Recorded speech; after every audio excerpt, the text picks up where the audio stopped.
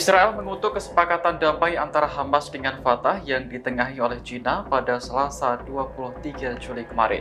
Menurut Beijing, kesepakatan itu akan membuat Hamas terlibat dalam pemerintahan di Gaza pasca perang. Menteri Luar Negeri Israel Katz menuduh Presiden Palestina Mahmud Abbas berusaha merangkul Hamas. Padahal militan tersebut adalah musuh utama Israel yang dicap sebagai organisasi teroris. Katz menegaskan bahwa pemerintahan Hamas akan dihancurkan di masa depan. Sementara itu, Hossam Badran, anggota Biro Politik Hamas menggambarkan keterlibatan Cina sebagai cara untuk melawan pengaruh Amerika Serikat. Menurutnya, Washington telah menentang konsensus nasional internal Palestina dengan menjalin hubungan dengan Israel. Sebelumnya, Menteri Luar Negeri Cina Wang Yi menjamu pejabat senior Hamas Musa Abu Marzuk dan utusan Fatah Mahmud Al-Alol. Selain itu ada pula utusan dari 12 faksi Palestina yang lain.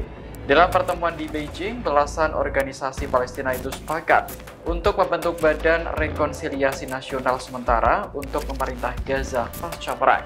Kesepakatan ini juga disetujui oleh Hamas dan Fatah, dua kelompok Palestina yang selama ini permusuhan.